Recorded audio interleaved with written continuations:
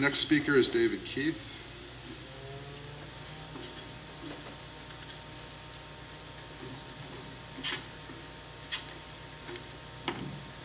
Thank you very much.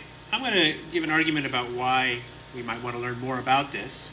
And I'll say a little bit more about some recent research I've done that may give you a sense of what's possible and also how much easier it is to come up with new ideas that might be interesting compared to the difficulty of actually figuring out their environmental risks or effectiveness. And in that sense, I think what I'm saying is quite uh, in line with what you just heard. So there's no question that large-scale climate engineering is untested and dangerous.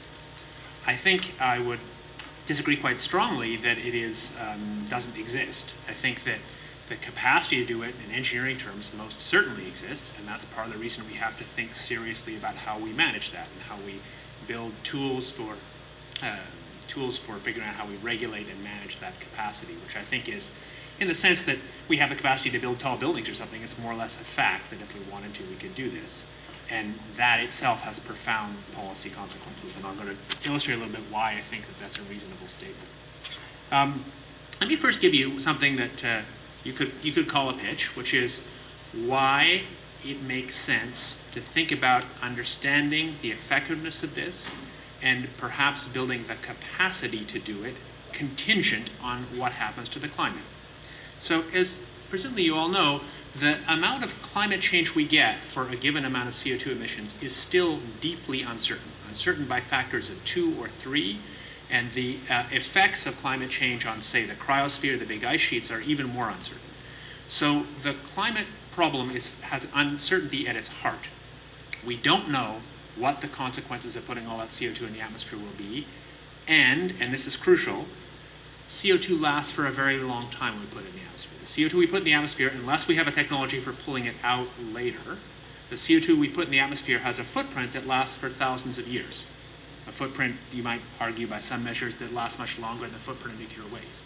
And it's the combination of those two things, the uncertainty about the problem and the length of time of the footprint that makes this problem so hard to manage. If you had only one of those things, it's much easier. Let's think a little bit more about inertia in the policy side as well. So we ought to have started arguably in 1965 when the first high-level report got to President Johnson explaining the dangers of putting all the CO2 in the air. We ought to have started to think about reducing our emissions, but clearly we didn't. Uh, when we actually have serious climate policy, which should have been decades ago but isn't yet, uh, that policy is effectively going to build low emission infrastructure, replace the high emission infrastructure we have now. But that's a very slow process because you've got to build all the capital stock of infrastructure, all the solar panels or windmills or nuclear power plants or whatever is your preference. And that capital stock builds slowly, and the emissions reductions are proportional to the amount of that low emissions stock you have. But emissions reductions don't directly affect the climate. It's the concentration, the buildup of CO2 in the atmosphere that affects the climate, and that's a second integral. And this makes this thing have enormous inertia. So from the time that we decide seriously to begin to pull emissions down, the time that we see a big effect on the climate has a time scale of order a century, or a good fraction of a century. And so it's that combination of uncertainty about how bad the climate response is and inertia that is, at least for me, one of the principal reasons that we might want to know something about these technologies. That's something both about how they work technically and beginning to think about how we'd actually manage them in terms of governance. Um, just to be even one more step precise, the point is, at some point, which could already be today, or could be 10, 20, 30, 40 years in the future, we may have put enough CO2 in the atmosphere that we'll have unacceptably huge responses to that CO2. And at that point, stopping emissions doesn't solve the problem. So it's common to frame this simply as a trade-off between doing geoengineering and cutting emissions. And there's no question that if you think about this as an optimization problem, there's some trade-off. But, but it is not simply a trade-off because uh, cutting emissions can reduce the amount of CO2 we're going to put in the atmosphere in the future, but it does nothing to manage the amount of CO2 we have already put in the atmosphere. And the various kinds of geoengineering could potentially do that. So let's start out by distinguishing two totally different sorts of things that have both come under the name geoengineering, but I think have very little to do with each other with respect to the underlying science technology, with respect to the costs, and with respect to the social science and governance issues they raise. So one of those things is the thing that I'll mostly talk about, and I'll give you some specific new research on, is how we might manage or control or, or affect is maybe a more honest word, the amount of sunlight that the Earth absorbs. And I'll come back to that in a minute, but the key factors are this is fast, it's cheap, and it's inherently imperfect. It cannot compensate for the amount of CO2 in the air.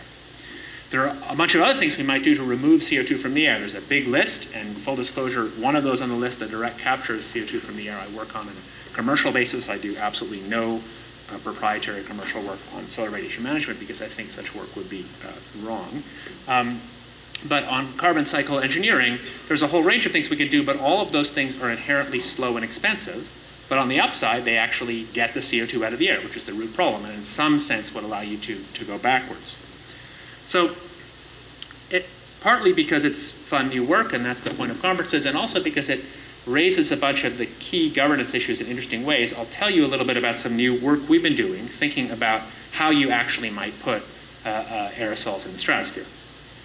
and that lists some of my collaborators. Um, so almost all the work, not all, but almost all the work and almost all the modeling that's looked at putting uh, sulfate aerosols in the stratosphere has assumed that we'd mimic volcanoes. And there's a lot of sense to thinking that we mimic volcanoes because we have some sense of what's happened after volcanoes. The planet cooled, there were impacts on ozone, there were impacts on the biosphere, we uh, were able to monitor them.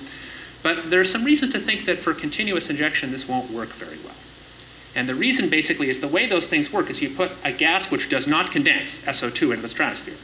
And the only way it makes particles is it converts to H2SO4, sulfuric acid, and then that stuff, which isn't volatile, condenses onto particles. And that automatically happens slowly if you're putting a gas in like SO2. And because it happens slowly, you necessarily find that almost all of the new mass you put in ends up on existing particles, either directly or by making ultrafine particles that then coagulate with the big particles. And so the problem is you end up making particles that are too small, too large if you do this continuously. This gives you a sense of how important particle size is. So on the x-axis, sorry, you can't read as well as radius and microns. And uh, look at the alumina or, or sulfuric acid um, functions, which are the mass-specific back, uh, mass-specific backscatter. So a measure of radiative forcing. In fact, I have it in watts per square meter per megaton. And those things fall off as, as the particles get larger. But even more important, the fall speed rises quite rapidly in this regime. And so as particles stick together and get large, they fall out of the stratosphere very quickly. And so particles that are too large are much less effective per unit mass. So